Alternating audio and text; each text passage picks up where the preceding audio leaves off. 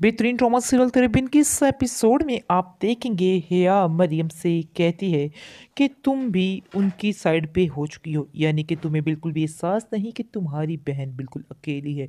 तुम बिल्कुल उसका मीरब का साथ ही दे रही हो। आगे से आप देखेंगे कि वो कहती है मरियम कि मैं किसी का साथ नहीं दे रही हूँ। मैं सिर्फ़ और सिर्फ़ सच्चाई और हकीकत का साथ दे रही हूँ और तुम्हें भी इस हकीकत का सामना कर लेना चाहिए। जितनी जल्दी तुम इस हकीकत का सामना कर लोगी और ये चीज़ को समझ जाओगी तो उतना तुम्हारे लिए एक काम बहुत आसान हो जाएगा, वरना तुम्हारी ज़िंदगी बहुत मुश्किल हो जाएगी। इसके बाद आप देखेंगे कि वो मरियम से कहती है कि मैंने तो ये बात ठान ली है कि मैं इस लड़की को इस घर से निकलवा कर ही रहूँगी, क्योंकि मैं इस बात को बड़े अच्छे तरीके से समझ चुकी हूँ कि माँ बेगम भी उसको पसंद नहीं करती और उनके दिल में मैं इस कदर उसके लिए नफ़रत डाल दूँगी कि वो उनका दिल कभी भी उसके लिए साफ़ नहीं हो सकता है। वैसे भी वो जानती हैं बड़े अच्छे तरीके से कि मीरब जो है वो बिल्कुल भी मुर्तसिम को पसंद नहीं करती। इसलिए आप देखना कि वो हम खुद इसको इस घर से दिख के देकर बाहर निकालेंगी। आगे से मरियम इसको जवाब देती है,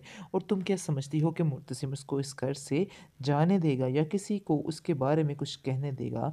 ये तुम्हारी बहुत बड़ी गलत फहमी है। तुम्हें बार बार एक ही बात समझाने की कोशिश कर रही हूँ कि अपने दिमाग से ये बातें निकाल दो। ये बातें तुम्हारे लिए ठीक नहीं है। आगे से वो कहती है कि ये बातें तो मरते दम तक मेरे दिमाग से नहीं निकलने वाली हैं। इसलिए बेहतर यही होगा कि तुम उनकी साइड लेना छोड़ दो और अपनी बहन की तरफ़ भी ध्यान दो। मैं तुम्हारी बहन हूँ, तुम्हें बिल्कुल इस चीज़ का एहसास नहीं हो रहा।